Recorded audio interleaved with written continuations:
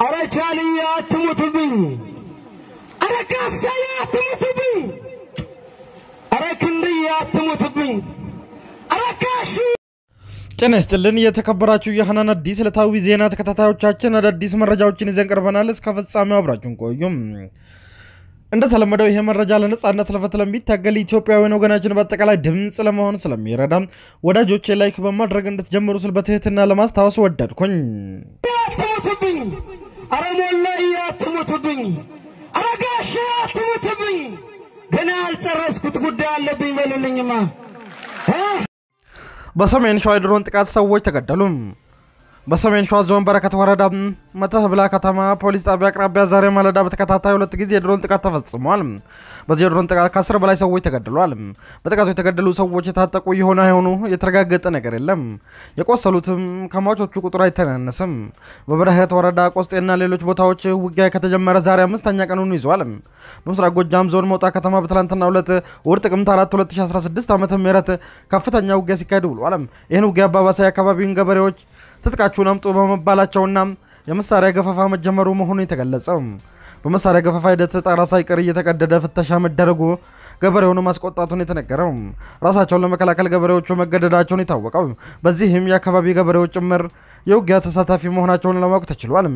በከተማ ዙሪያ የነበረው ውጊያ ትላንት ማታ አካባቢ የቆመ ሲሆን በውጊያው በርካታ ጉዳት መድረሱን የተገለጸው በአማራ ክልል የእግረኛ ውጊያዎች የታሰቡትን ግብ መምታት ባለመቻላቸው እንዲሁም የደፈጣ ጥቃቶች በተደጋጋሚ መቃጣታቸው የድሮን ጥቃቶች ተባብሰው እንዲቀጥሉ ምክንያት መሆኑን የተነገረው በምዕራብ ጎጃም በምትገኝ ደንበጫ ከተማ ከዚህ ቀደም በተቃጣ የድሮን ጥቃት 16 ወጣቶች ተገድለው ሶስት መቁሰላቸው ይታወቃል። በተመሳሳይ ምዕራብ ጎጃም ዞን ዋና ከተማ በሆነችው ፍኖተ ሰላም ከተማ ላይ በተፈጸመ የድሮን ጥቃት ቢያንስ 25 ሰዎች ይገደሉ ከ50 በላይ የሚሆኑ ሰዎች ላይ ጉዳት መድረሱ እንዲሁ ተዘግቧል። በሰሜን ሸዋ ዞን በረከት ወረዳም መትህብላ ከተማ በዛሬው ዕለት ከተሰነዘረ የድሮን ጥቃት በፊት ከፍተኛ ውጊያ የተካሄደ ሲሆን በመከላከያ ሰራዊት ላይ ደፈጣ ጥቃት ተሰንዝሮ ከፍተኛ ጉዳት መድረሱን የተገለጸው ከደፈጣ ጥቃቱ በኋላ የድሮን ጥቃቱ መትህብላ ከተማ መሀል ላይ መቃጣቱን የተነገረው በዚህ ጥቃት እስካሁን አስር ሰዎች መገደላቸው የተገለጸ ሲሆን የሟቾች ቁጥር ሊጨምር እንደሚችል ተጠቅሟል። በሌላ መረጃችን በአማራ ክልል የተካሄዱ ውጊያዎች ደቡብ ወሎ፣ ሰሜን ሸዋ፣ ሰሜን ጎንደር ባለስልጣኑ ተገደሉ። በአማራ ክልል በተለያዩ አካባቢዎች ሰሞኑ ሲካሄድ የነበረው ውጊያም ዛሬም እንደቀጠለ ነው። በዛሬው ዕለት በሰሜን ሸዋ ሚዳና አማራኛ በተባለው አካባቢዎች ከባድ ውጊያ ሲካሄድ የነበረ መሆኑ ታውቋል። ውጊያ የተካሄደው በመከላከያና በአካባቢ ፋኖ ኃይሎች መካከል መሆኑን ከስፍራው እየወጡ ያሉ መረጃዎች አመልክቷል። በተመሳሳይ መልኩ የሰሞኑ የብልጽግና አመራሮች ስልጠና ከሚካሄድባቸው ከተሞች መካከል አንዷ በሆነችው ደሴ ከተማም ሉሲ በተባለ ሆቴል የቦምብ ፍንዳታ የደረሰ መሆኑ ታውቋል። ከዚህ ጋር በተያያዘም በብልጽግና አመራሮች ደህንነት ላይ ከተፈጠረ ስጋት ጋር በተያያዘም ስልጠናው ከደሴ ወደ ኮምቦልቻ ተዘዋውሯልም ተብሏል። እስካሁን ባለው ሁኔታ ከአማራ ክልል ከተሞች አንጻር በአንጻር የሰላም ውስጥ የነበረች ደሴ ከተማም በዙሪያ በከባባት ጦሳ ተራራ ጫካ አልፎ አልፎ የተኩስ ድምፆች መሰማት የጀመሩ መሆኑን ታውቋል። በዚያ በደሴ ዙሪያ አምባሰል ወረዳም ማርዬ ተብለው በሚጠራ ጫካ ውስጥ በዛሬው ዕለት ውጊያ ሲደረግ የነበረ መሆኑን እንደዚህ ከስፍራው እየወጡ ያሉ መረጃዎች አመልክተዋል። በሰሜን ወሎ ቆቦ ከተማ መንግስት በአዲስ መልኩ ከፍተኛ ቁጥር ያለው ተዋጊ ኃይልን ያስገባ መሆኑ ታውቋል። ከዚህ ጋር በተያዘም ከተማ ተመልሳ ወደ ጥረት ውስጥ ገብታለችም ተብሏል። መከላከያ በኮቦ ዙሪያ በሚገኝ ዞብል ተራራ ላይ ተከታታይነት ያለው ከባድ መሳሪያን ሲተኩስ ያረፈደ መሆኑን ታውቋል። በተመሳሳይ በሰሜን ጎንደር አጅሬ ጃኖራ እንደዚሁም በዳባት በተደረጉት ውጊያዎችም በተፋላሚ ባንዳዎች ላይ ከባድ ጉዳት ደርሰዋልም ተብሏል። በጎንደር ዙሪያ ማክሰኝት ከተማ አካባቢ የሰላምና ደህንነት ምክትል ቢሮ ኃላፊ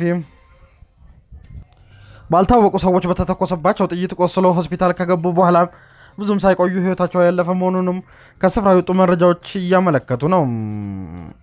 በሌላ መረጃም በሰሜን ሸዋ የድሮን ጥቃት ሰዎች ተገደሉ። ከመርዶ ባሻገር ለነጌታቸው የቀረቡት ሁለት ፈታኝ ጥያቄዎችም በትግራይ የተካሄደ የሀዘን ስነስርዓት በዛሬው ዕለት ማብቂያውን ፍጻሜውን ያገኛል። በዚህ የሀዘን ስነስርዓት መርዶ ለማዎች ቤተሰቦች ተነግሮ አይበቃ ቢመስልም ቤተሰቦች አንድ ወሳኝ ጥያቄ እየጠየቁ መሆኑ ታውቋል። ይህም ጥያቄ የልጆቻችን የቤተሰቦቻችን አስክሬን ስጡን የሚል ነው። ቢቢሲ አማርኛ ድረገጽ በዛሬው ዕለት ባሰራጨው ዘገባ እንዳመለከተው ከሆነ ይህ ጥያቄ በአሁኑ ሰዓት በትግራይ ቤተሰቦች በኩል በመጠየቅ ላይ ነው። ሁለት ዓመታት ጦርነት በነበረው ውጊያም ህወሓት በጦርነቱ የሚሞቱን ታጣቂዎች አስክሬን አግላይ ኃይል አዘጋጅቶ ሁሉንም በሚባል ደረጃ ከየግንባሩ ወደ መሀል ትግራይ እያጓጓዘ መሆኑን የቀደሙ መረጃዎች የሚያመለክቱትም ሆኖም የሀዘን ስነ ስርዓቱን ተከትሎ የወጣው መመሪያ እንደዚህ አይነት ጥያቄዎች እንዲነሱ የሚፈቅድ አይደለም። ከዚህ ባለፈ ሌላኛ እየተጠየቀ ያለው ጥያቄ በዚህ ጦርነት የነበረው የመርዶና ሀዘን ስነስርዓት እንደተጠበቀ ሆኖ ምን ያህል ሰዎች ከትግራይ በኩል በዚህ ጦርነት ሞቱ የሚለው በዚህ ዙሪያን ይኸው ከፍተኛ አመራሮች መረጃውን ጠቀላላ አድርገው ይህን ያህል ሰው በሁለት ዓመታቱ ጦርነት ሞቶብናል ወይም ተገሎብናል ማለት አልፈለጉም። እንደ ቢቢሲ መረጃ ከሆነ የትግራይ ጊዜያዊ አስተዳደር ወይም የህወሓት አመራሮች ምን ያህል የትግራይ ተወላጆች በዚህ ጦርነት ተሰልፈው እንደተዋጉ ሙሉ ሀዙ አላቸው። ሆኖም ለጊዜው መናገሩን አልፈለጉትም። ቢቢሲ በዚህ ማብራሪያው የትግራይ ጊዜያዊ አስተዳደር ፕሬዚዳንት አቶ ጌታቸው ረዳም የተሰዉ ታጋዮች ቁጥር በእጃቸው እንዳለ በመግለጽ የተሰዉ ታጋዮች ቁጥር እንገልጻለን፣ ለጊዜው ግን መግለጹ አስፈላጊ ሆነ ስላልታየን እናቆየዋለን ማለታቸው ተዘግቧል በማለት ነው መረጃውን ያሰራጨው። እየወጡ ያሉ ፎቶግራፎችና ተንቀሳቃሽ ምስሎች የሚያሳዩት በሁለት ዓመታቱ ጦርነት በትግራይ የትውልድ ክፍተት ወይም generation gap ሊፈጥር በሚችል ደረጃ ከፍተኛ የሆነ እልቂት መፈጸሙ ነው። ጦርነቱን ህዝባዊ ጦርነት በማድረግ እንወጣዋለን በሚል የተካሄደ ይኸው መላ ትግራይን ህዝብ ያነቃነቀ ዘመቻም ወጣቶችን፣ የዩኒቨርሲቲ መምህራንን፣ ዶክተሮችን፣ እግር ኳስ ተጫዋቾችን እና በአጠቃላይ ሁሉም የህብረተሰብ ክፍል በነካ መልኩ ከባድ እልቂትን ያስከተለ መሆኑ ተረጋግጧል። ሽሬ ከተማ ውስጥ በእያንዳንዱ ስፍራ ሶስትና አራት መርዶ ነው ሲሉ ለቢቢሲ የተናገሩት የከተማ ነዋሪም ከአንድ ቤት ሶስት የተሰዋበት ቤተሰብም አለ በማለት ሽሬ በከባድ የሀዘን ድባብ ውስጥ መሆኗን ተናግሯል። ስማቸው እንዲገልጽ ያልፈለጉት ሌላኛው የሽሬ ነዋሪ መርዶ ሁሉንም የከተማን ክፍል ማዳረሱን በመጥቀስ በተፈናቃዮች መጠለያ ካምፕ ውስጥ የሚገኙ ተፈናቃዮች ሳይቀሩ መርዶ እየተነገራቸው በተደራራቢ ሀዘን ላይ መሆናቸውን ገልጿል።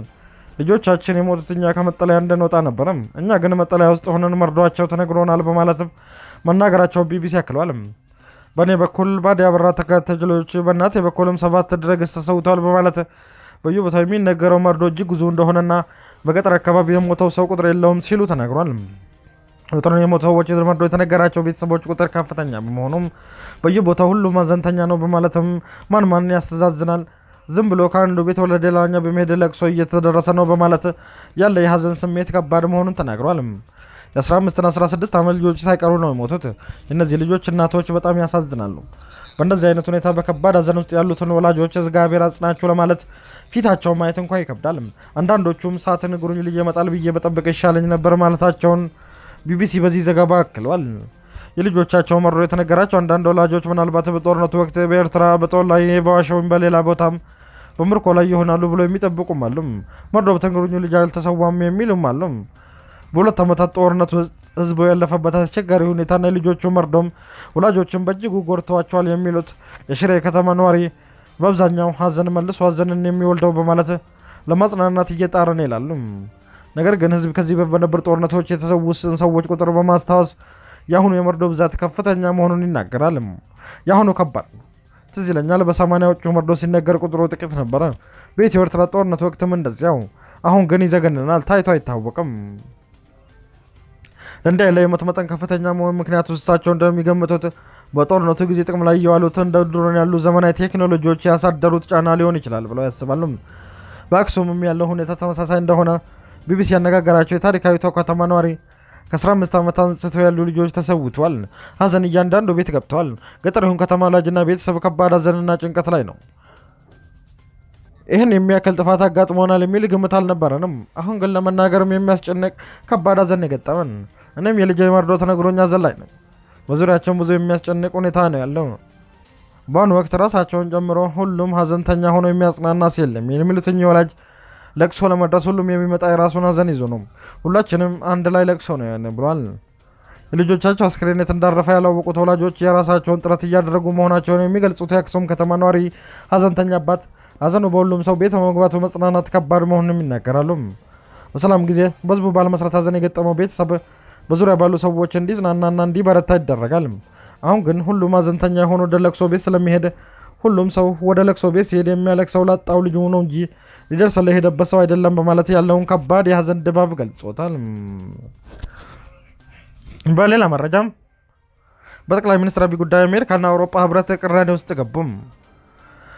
የኢትዮጵያ ፖለቲካ ቀውስ እየተባባሰ የመጣ ግጭትና የሰብአዊ መብት ይዞታም በአሜሪካና በአውሮፓ ህብረት ውስጥ የተካረረ የሀሳብ ልዩነት ማስከተል መጀመሩን የተገለጸው የጠቅላይ ሚኒስትር አብይ አስተዳደር የኢትዮጵያን ችግር መፍታትና ሀገሪቱን በቅጡ መምራት አዳክቶታል በሚሉና የጠቅላይ ሚኒስትሩን አስተዳደር በመደገፍ ኢትዮጵያን ወደ መረጋጋት ማምጣት ይቻላል ብሎ በሚያምኑ ሹማምንት መካከል የብረታ ልዩነት መኖሩንና ወጥ አቋም ለመያዝ አለመቻሉን ዋዜማ በዘገባው አመልክቷል።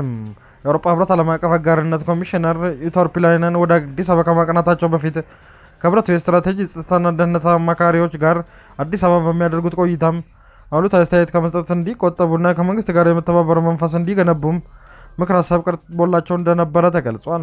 ኮሚሽነሩም ኢትዮጵያ ችግሯን በራሷ እንድትፈታ ተጠያቂነትና እርቅን እንዲሰፍን የአውሮፓ ህብረት ድጋፍ እንደሚያደርግ በአደባባይ ተናግሯል።